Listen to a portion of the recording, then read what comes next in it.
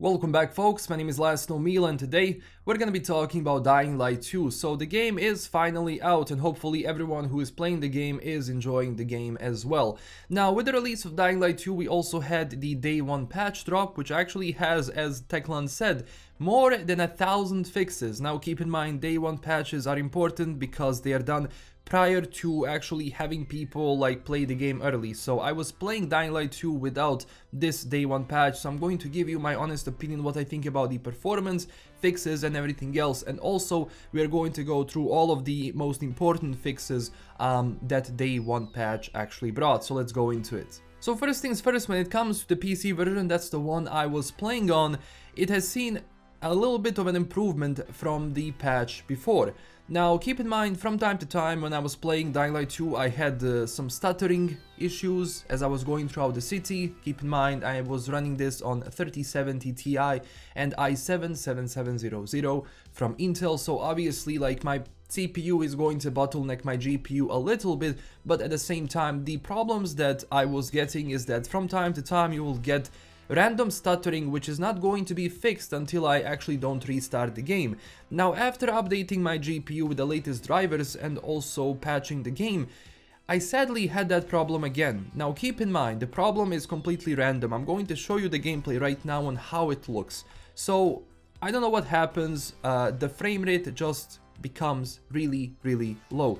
Keep in mind, uh, again, I fixed this by just restarting the game. And the problem itself was completely random, so I can play for 5 hours sometimes and I will have zero problems. Or I will play for half an hour and this problem is going to arise, but nothing which a restart won't fix. So I'm still not sure what the problem is. Is it either memory leaks or is it connected maybe to Denuvo because Denuvo anti-cheat and anti-tamper um, software uh, was implemented into the game prior to release, which I'm not a fan of. I don't think think that Denuvo has place in video games because it brings more problems and actually brings more good to the actual game. But nevertheless, um, the problem is completely random and I can say at least when it comes to everything else, like all of the other stuttering in the game and uh, just random FPS drops, at least those problems are now completely gone, at least when it comes to my PC version. But again, from time to time, randomly, I will have this issue where frame rate just completely drops down. When it comes to the PlayStation 4 version, I'm talking about Slim and also Xbox One. I've talked with some people, they showed me gameplay,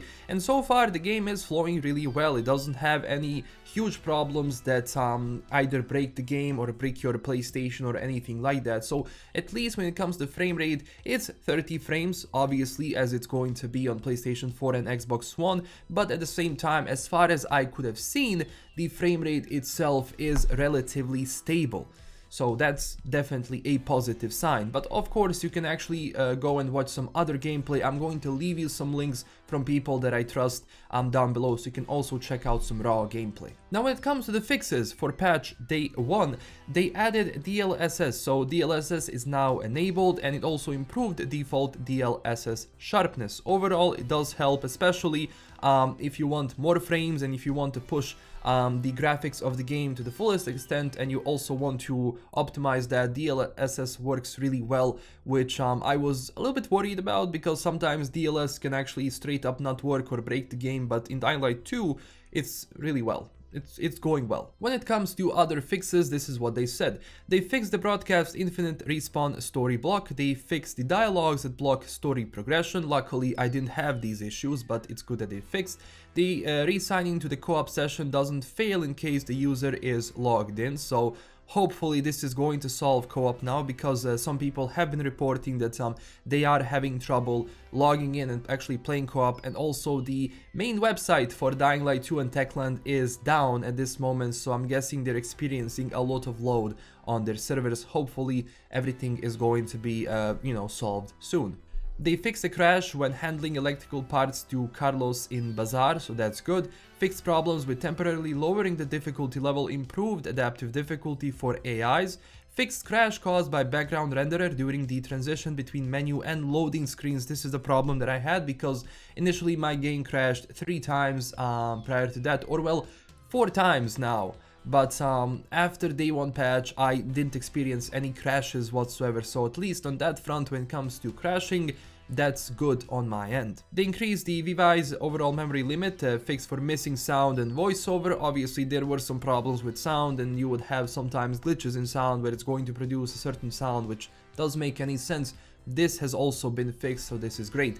Resolved problems with objects and AI sinking into the ground on a flat surface. Yes, this is definitely needed because there were a few times where I either had uh, items under the ground and I couldn't loot them because they were under the ground or people would just fall through the ground itself. Added missing uh, game action fixing the game's unresponsiveness. Now keep in mind there are still some unresponsiveness in the game, especially when I want to use my scan with Q, if I want to use the senses over me to like uh, see where can I loot. From time to time it cannot work, even when I'm standing in place, not moving and just pressing Q, sometimes it actually has a problem of triggering, so hopefully um, that also gets a little bit more fixed because even with day one patch I was running into those issues. And they added extra protection against potential crashes so hopefully this is going to work because honestly sometimes when you crash and when you're mid mission or at the end problem is you have to redo it again and sometimes that can be incredibly frustrating. And they also fixed disconnecting co-op sessions after a certain amount of time. So yes, overall day 1 patch has fixed a lot, especially when it comes to the overall frame rate in my game, because uh, where I had some micro stutters or where my frame rate wasn't really up to par with the GPU that I have in my system, now those problems are relatively gone. Again, as I said, I do have this problem where everything starts stuttering, but that's fixed with a restart and um, those problems are becoming less and less often often and honestly they can be so random that I don't even know what actually triggers those things so hopefully someone smarter can actually go and explain. Besides that, the devs actually said that they looked into all of the feedback they had prior to the launch of the game. Keep in mind, some things which are done in day one patch, obviously there are more things which are also going to be um, presented in the later updates. So, so far the game is flowing well for people, but of course, Report down below in the comments if you experience any huge issues, but that's just my opinion, what I think about it so far.